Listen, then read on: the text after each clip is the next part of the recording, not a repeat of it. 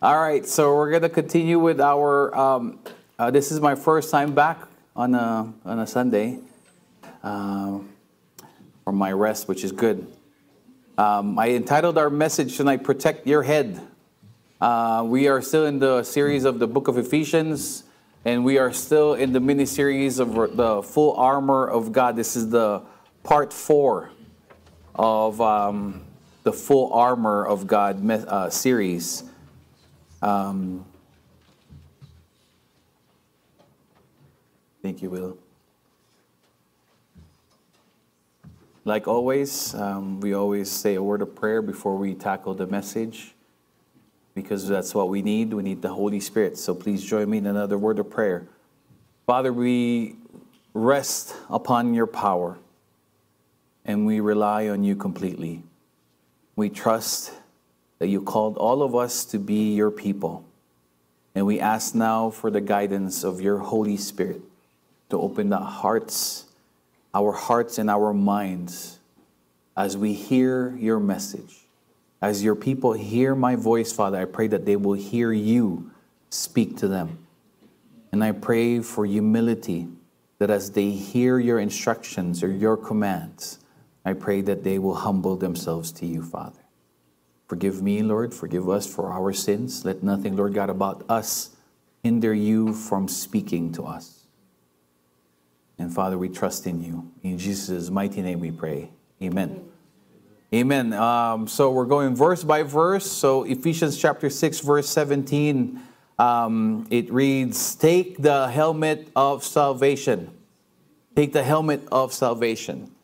Um, now, the Roman soldiers wore helmets. They knew that blows to the chest could be fatal because they're, you know, the vital organs are there. So they wore a breastplate. And they also knew that a blow in the head could be fatal.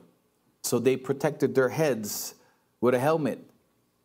Some helmets, helmets in ancient times were leather and metal pieces fastened onto the leather. Others were solid cast metal, very much like their breastplates. So there were breastplates of leather with metal riveted to it, as well as those that were molded and pounded with metal. The purpose was to protect the head. From what, you ask? From the broad swords that were being wielded towards their, their, the direction of their head. Now, in battle, battles in ancient times, there were small little daggers called machaira, and that could be a foot long or maybe shorter. They were used in hand to hand combat to inflict a fatal blow, not a, not a love tap, but a fatal blow. Uh, but there were also uh, ram,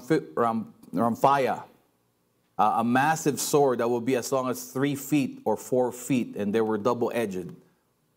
The, the handle must be gripped with both hands because it was that heavy. And the soldier would raise his sword high over his head and bring it down to the direction to give a crushing blow on the head of their enemy, to split open the skull. A soldier had to be alert because a blow like that, if it found its, it, its place in the right point of the head, even if you had a helmet, it could be a crushing and devastating blow. Um, but once you move it, it would deflect that deadly blow if you move the helmet. Now, our soldiers, uh, for a long time, here in, in our country, have a Kevlar helmet. And I'm not sure if this is a Kevlar helmet, but this is Brother Romel's um, very own helmet that he wore in Afghanistan. So you can touch this later. Um, if you want a demonstration, if it's tough enough, you can wear it. And I have a baseball bat in the office, and we can try to. Uh, and if we're wrong, we'll give you your money back. but this is a Kevlar helmet. John, John, if the video is ready, please uh, pay attention to the video here. Take a look at this. Frightening video shows a U.S. Marine patrol in Afghanistan last year. Watch and listen as a sniper opens fire. You got cover out there?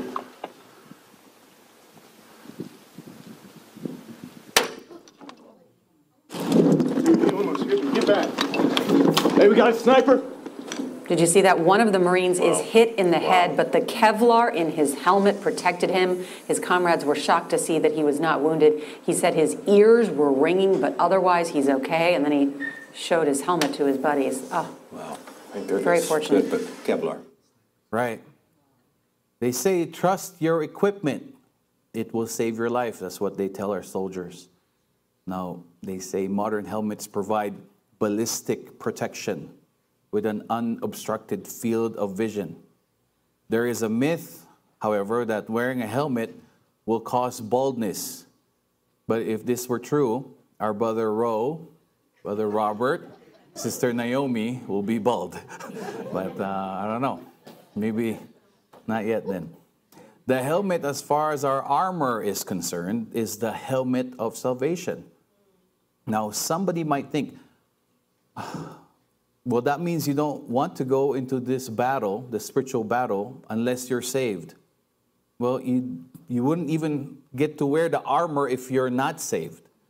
The full armor of God is for believers and believers only. Every piece of the full armor of God is for believers. So, this is not then, if you see it, um, the helmet of salvation, this is not talking about the salvation in the sense that um, you get saved. No, it's not. It's different. So, somehow we stumbled into the doctrine or teaching of eternal security and the doctrines of assurance in this verse of Ephesians chapter 6, verse 17. And if you don't know it by now, uh, this is one of my favorite uh, doctrines. Now, there's three phases in salvation.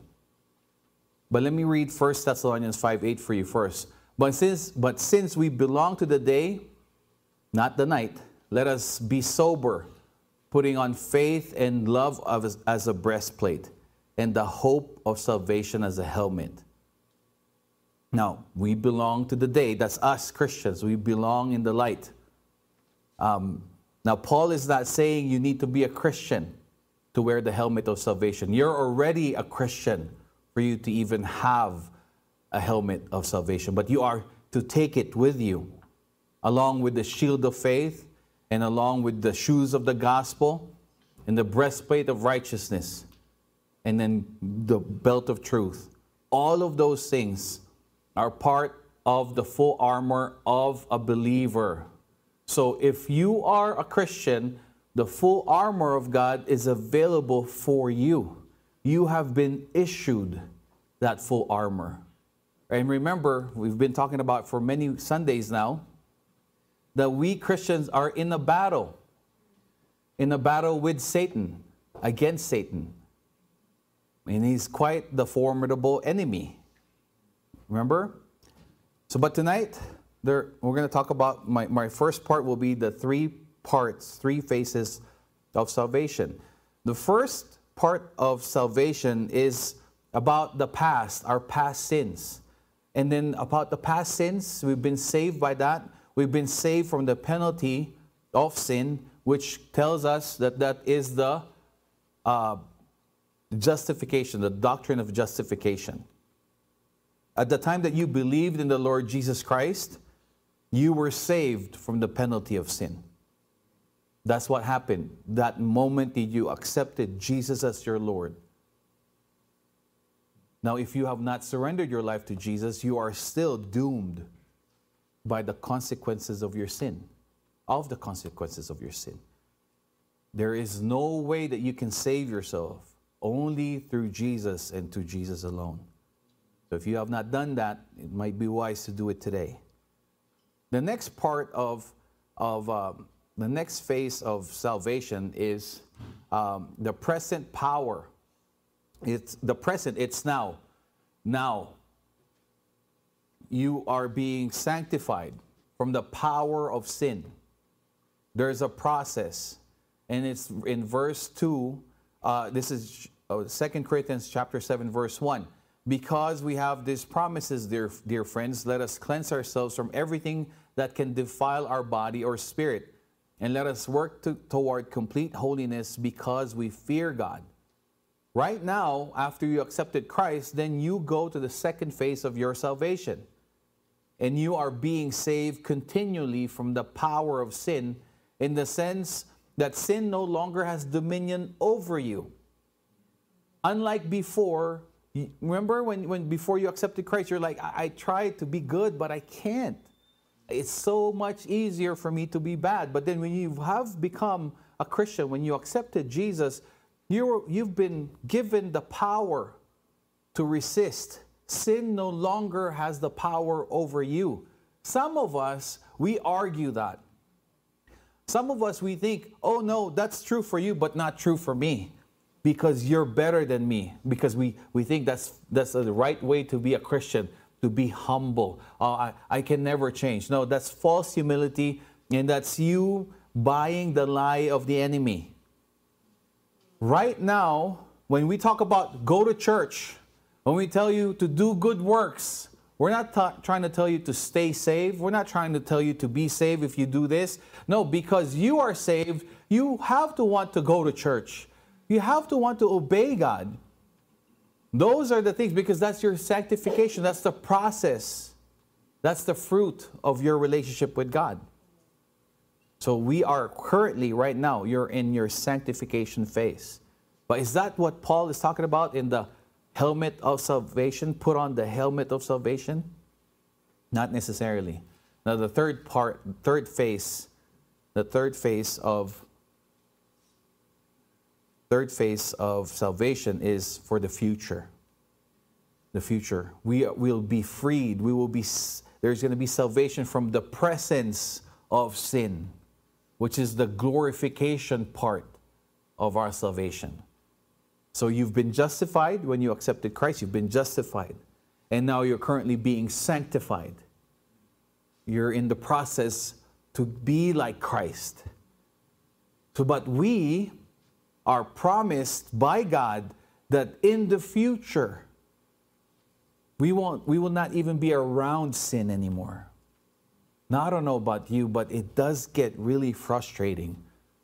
It does get really frustrating for me when I still stumble and sin. Because I rightfully knew and I clearly knew what I was doing. And I believed the lie of Satan. You know that? That when we sin, we believed Satan over God. Yeah. Just like in the garden.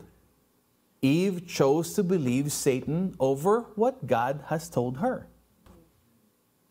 This is the third phase of salvation, the, glorification part. This is in 1 Corinthians chapter, chapter 1, verse 9. He will keep you strong to the end, so that you will be free from all blame on the day when our Lord Jesus Christ returns. Again, justification, sanctification, and glorification, past, present, future. The term salvation includes all three of those. From the moment you receive Christ to the time that you enter into heaven, your salvation is secure. Can I hear an amen? amen. Isn't that good? Isn't that good? It's not up to us. Because if it were up to us, we will screw it up. That's like everything that we've done in our life. But praise God, it's up to Him. Praise God, it's up to Him. Salvation has happened to you, it is happening to you and it will continue to happen to you. We want each of you to show this same diligence to the very end so that when so that what you hope for may be fully realized is what the writer of Hebrews said in Hebrews 6:11. And in 1 Peter 6 9, it reads, "So be truly glad. There is wonderfully joy ahead, even though you must endure many trials for a little while. These trials will show that your faith is genuine. It is being tested as fire. Test and purifies gold. Through your faith is far more precious than mere gold. So, are we there? You see, First Peter. No. Okay, wait. So anyway, where was uh? Put it back to Hebrews six eleven. Are we there? Okay, just put it back to 1 Corinthians 1 9, please. Okay, I'll read 1 Peter 1 6 to 9. So truly be glad. This is wonderful joy ahead, even though you must endure many trials for a little while. These trials will show that your faith is genuine. It is being tested as fire and purifies gold. Through your faith is far more precious than mere gold. So when your faith remains strong through many trials, it will bring you much praise and glory and honor on the day when Jesus Christ is revealed to the whole world. You love him even though you have never seen him. Though you do not see him now, you trust him, and you rejoice with a glorious, inexpressible joy. Their reward for trusting him will be the salvation of your souls. That's 1 Peter chapter 1, verse 6 to 9. Now, if, um, if you want to read it later with your, in your Bible, please do so. Um, but we have all been given this great and precious promise of a future final escape in First Peter, he puts it in this, he put it in this way again in the opening chapter. Blessed be the God and the Father of our Lord Jesus Christ, who according to his great mercy has caused us to be born again to a living hope through the resurrection of Jesus Christ from the dead to obtain an inheritance which is imperishable, undefiled, and will not fade away, reserved in heaven for you who are protected by the power of God now we have to listen. Through faith for a salvation ready to be revealed in the last time. We have been saved, you are being saved, and you will be saved. We've all been given these great, precious promises about future glory. In the words of Paul in, to the Galatians, he says in chapter 5, verse 5, you essentially are waiting for the hope of righteousness, the hope of glory. In fact, like the creation in Romans 8 says, we groan waiting for the adoption, the redemption of our bodies.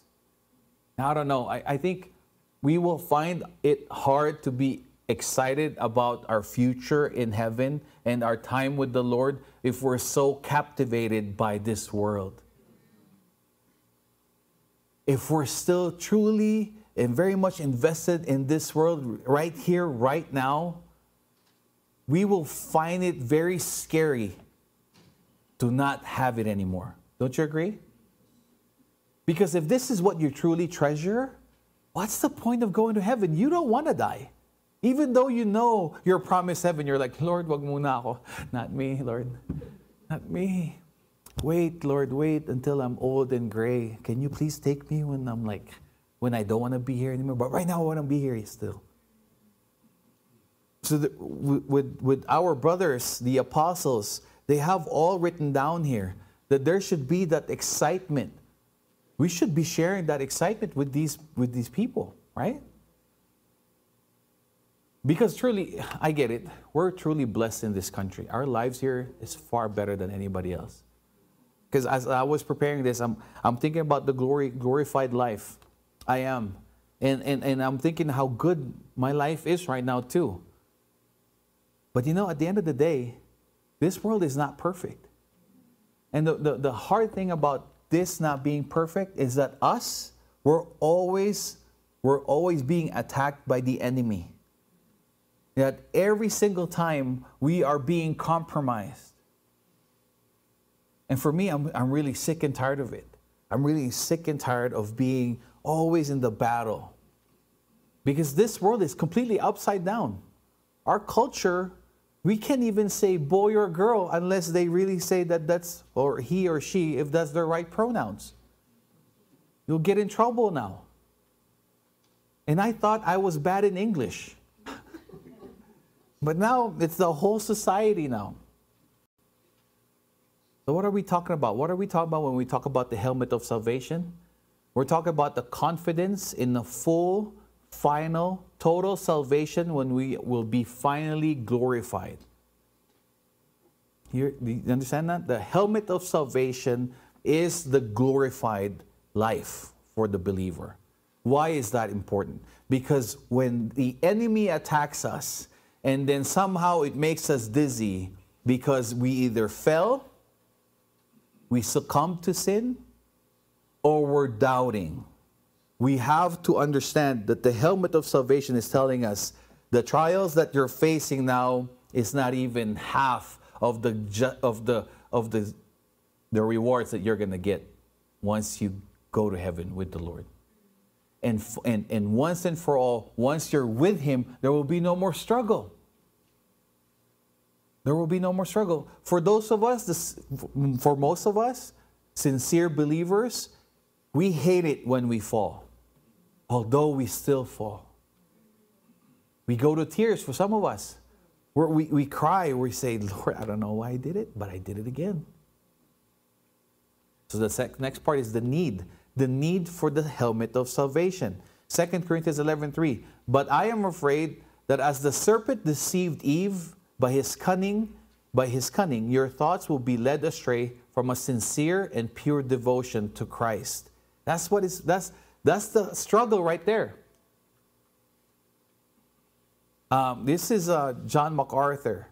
He said, I am convinced that if you believe that you can lose your salvation, you are ill equipped to engage in the battle if you're not sure you can win. You very likely will be tempted to turn into some kind of a monk who flees from any threat at all.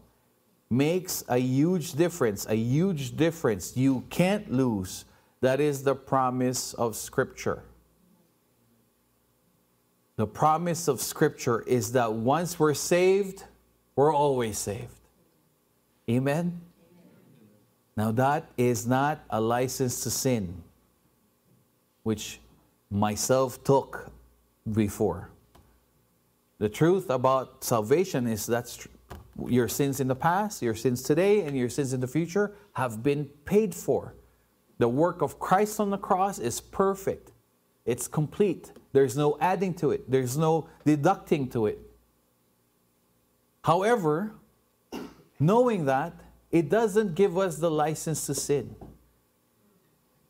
Knowing that God has paid for all of it, the product, for, the byproduct from our hearts should be love for Him, gratitude and humility, and willingness to obey Him, to give our lives for Him, because He's done everything for us. Now, the helmet is a metaphor for protecting the mind. The Apostle Paul wants us to guard our thoughts. If the devil can tamper with our thoughts, he can meddle with our lives. How we perceive Christ and, and his teachings affects all of, all of life. Our beliefs determine our behavior, our direction, and our destiny. That's why in Romans 12, Paul talks about the renewing of our minds. Us Christians, it's not a religion. Religion is outside work and then to bring it in you. Our relationship with Christ is it's a change from the inside out. It's a change from the inside out. We have a distinct Christianity ident- Christian identity. In, in 1 Thessalonians 5, Paul tells us to put on as a helmet of the hope of salvation. For God has not destined us for wrath, but for obtaining salvation through our Lord Jesus Christ. We have been issued, we have been given the helmet of salvation. Salvation is God doing for us what we cannot do for ourselves. We can be condemned by ourselves, but not saved by ourselves. Now, there is no do it yourself Christians, according to Eugene Peterson.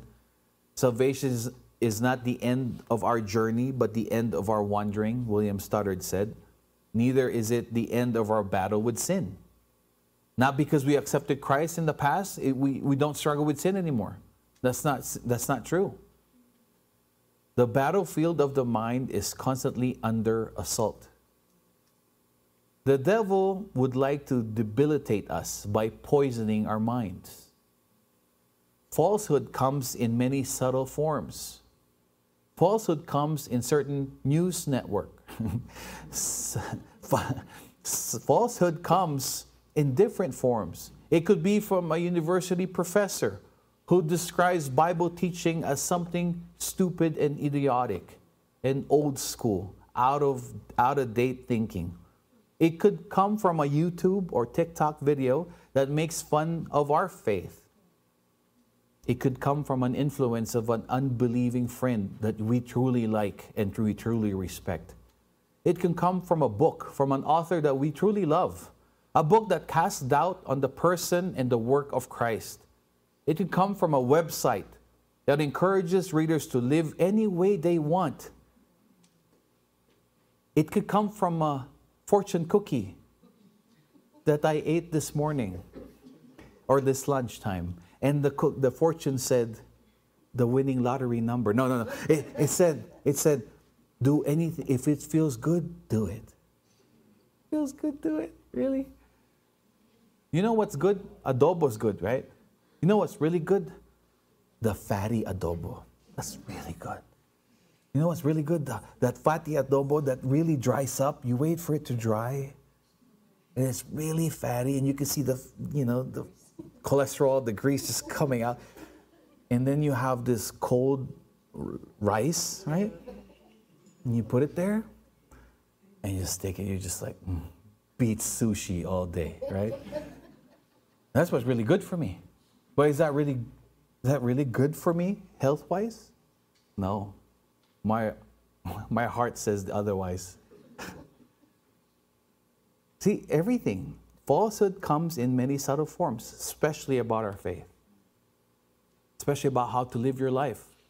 The world tells us, follow your heart. The Bible says the heart is the most deceiving of all. Jesus said, out of the heart comes murder, theft, adultery.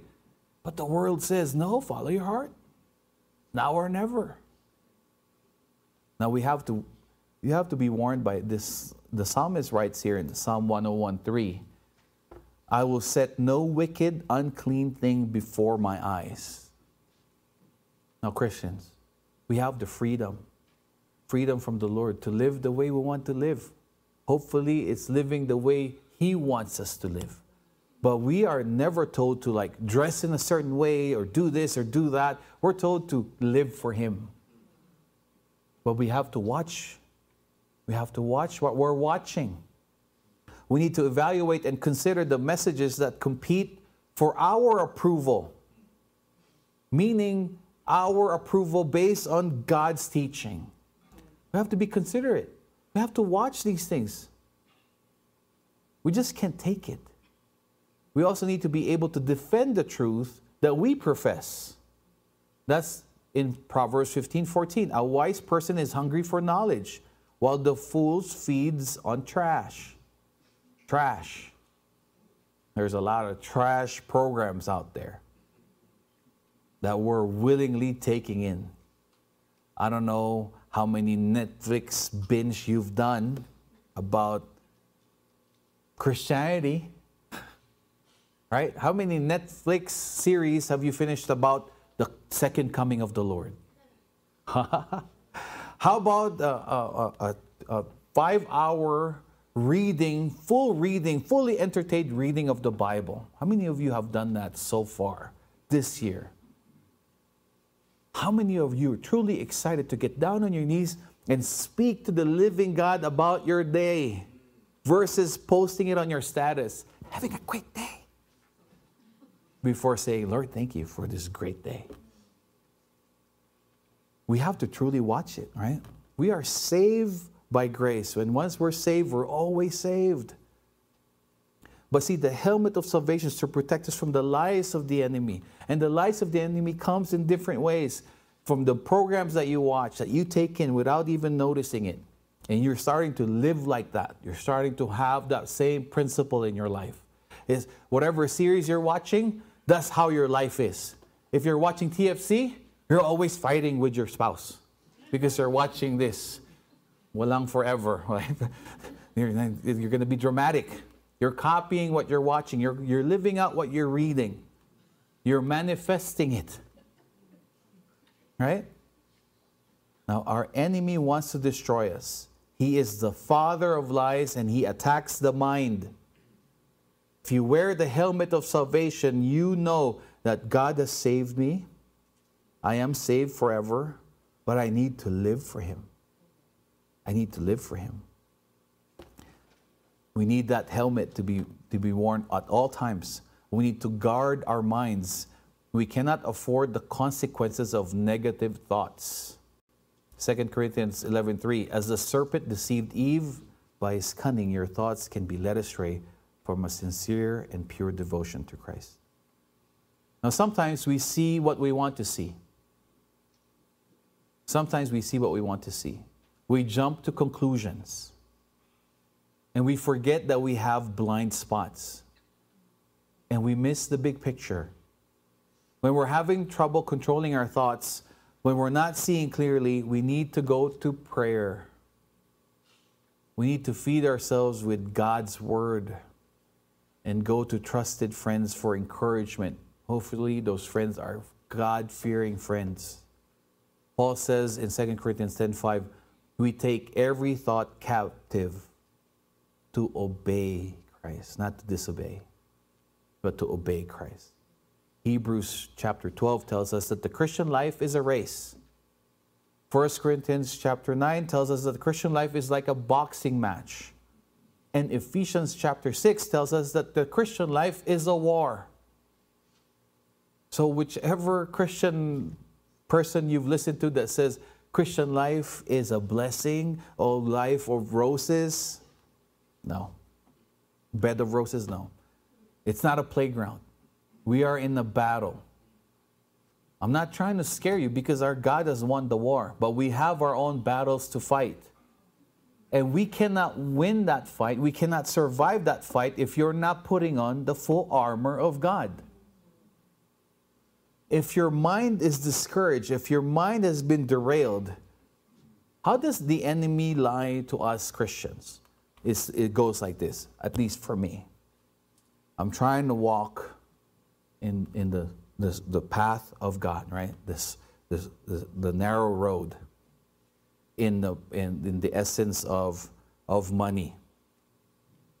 I say I need to be a good steward of God's money and God's blessing. I need to give my tithes to Him, and I need to spend this the right way. Now, what's the right way? That's when the enemy attacks. The enemy attacks this way Joe, you work so hard. You work too hard for that money. What's another car for you? You know what? You deserve to go back to Mexico.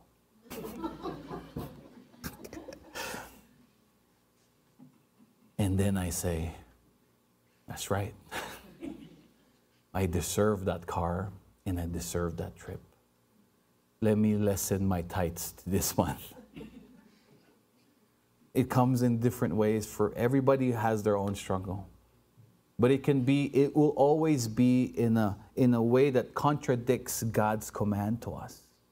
It always does, right? Now, there's a purpose, the purpose for the helmet of salvation. Remember, remember David, the young David, in 1 Samuel 17 32 to 40. This was the account when David went to Saul and he said, Don't be afraid of this Philistine. God will win this battle for his people. Remember that? And this is verse 37 The Lord who rescued me from the paw of the lion and the paw of the bear will rescue me from the hand of this Philistine.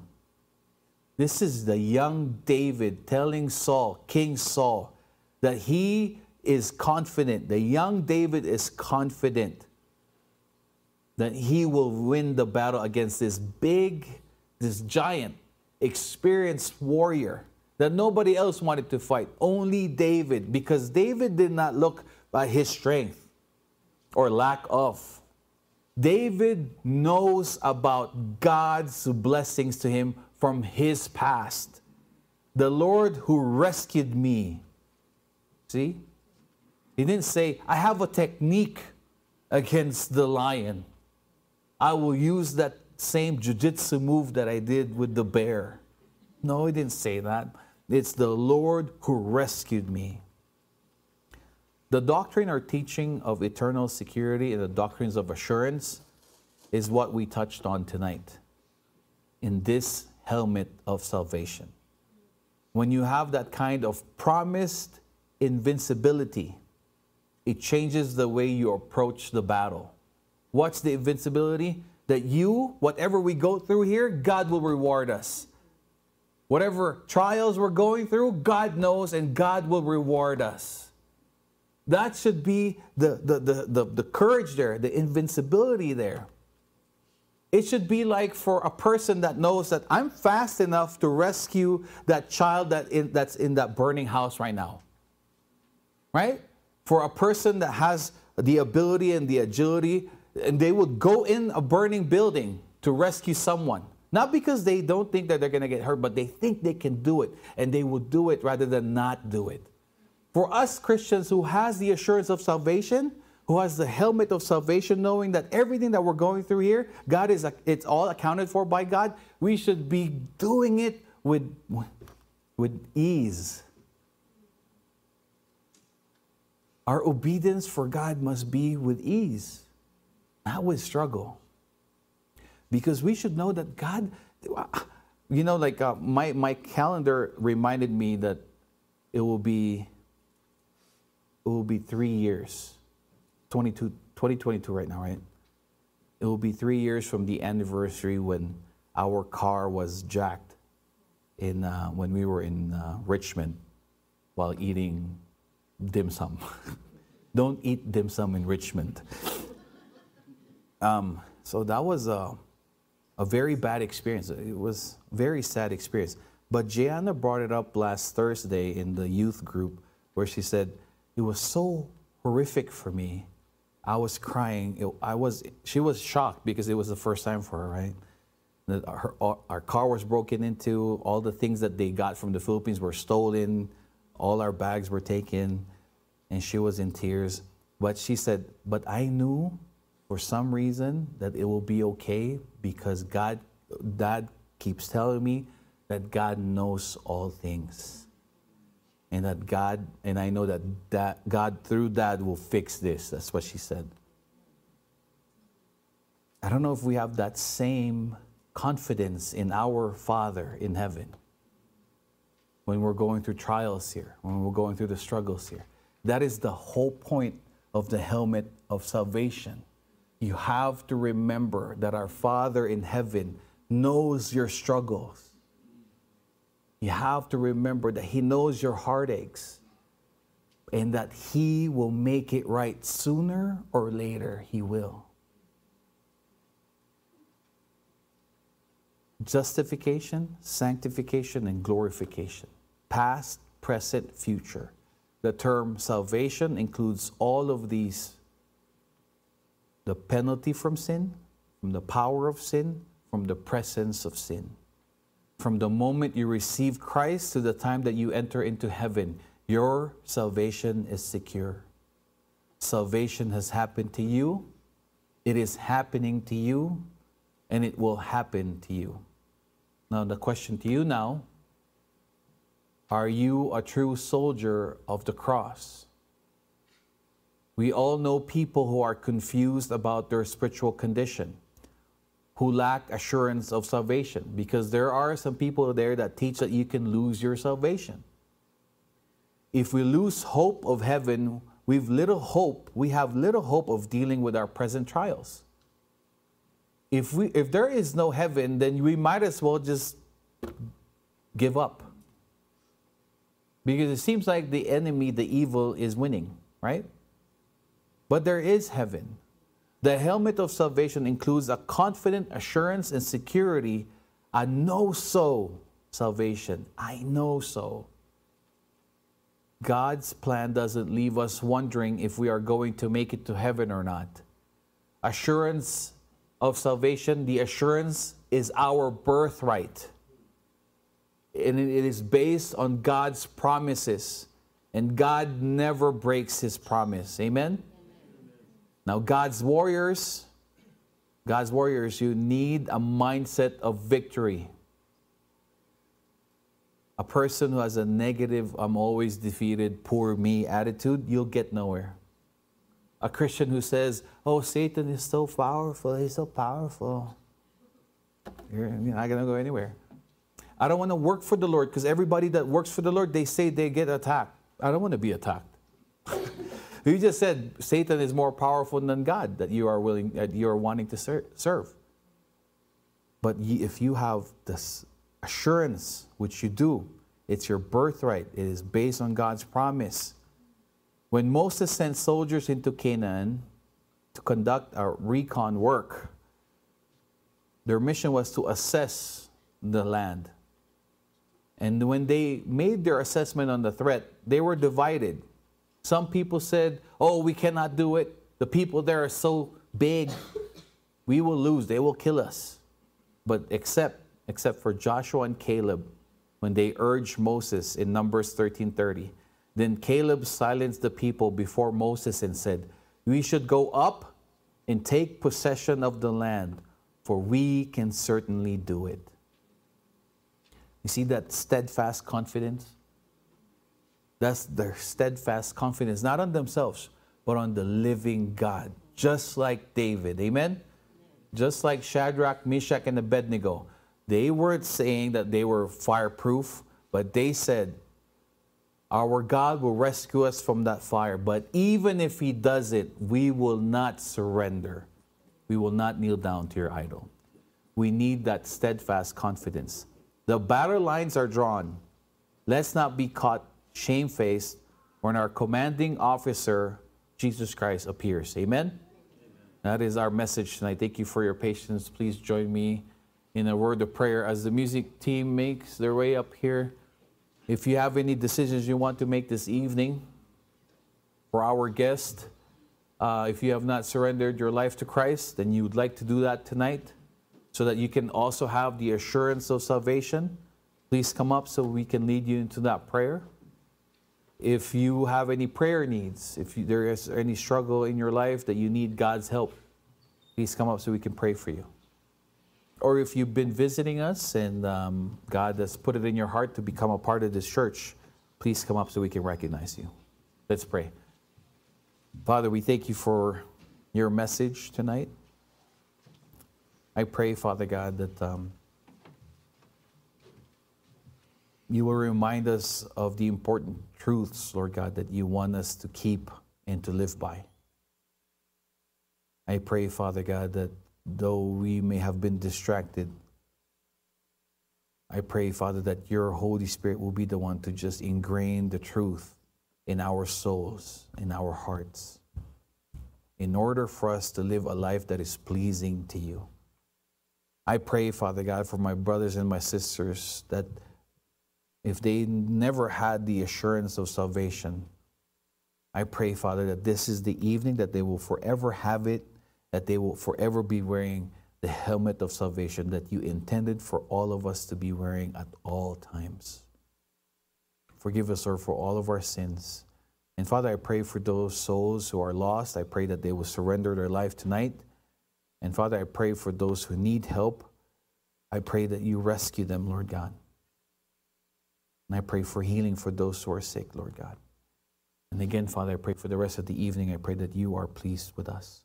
In Jesus' mighty name we pray. And all the Lord's people said, Amen. Amen. Thank you. Let's all.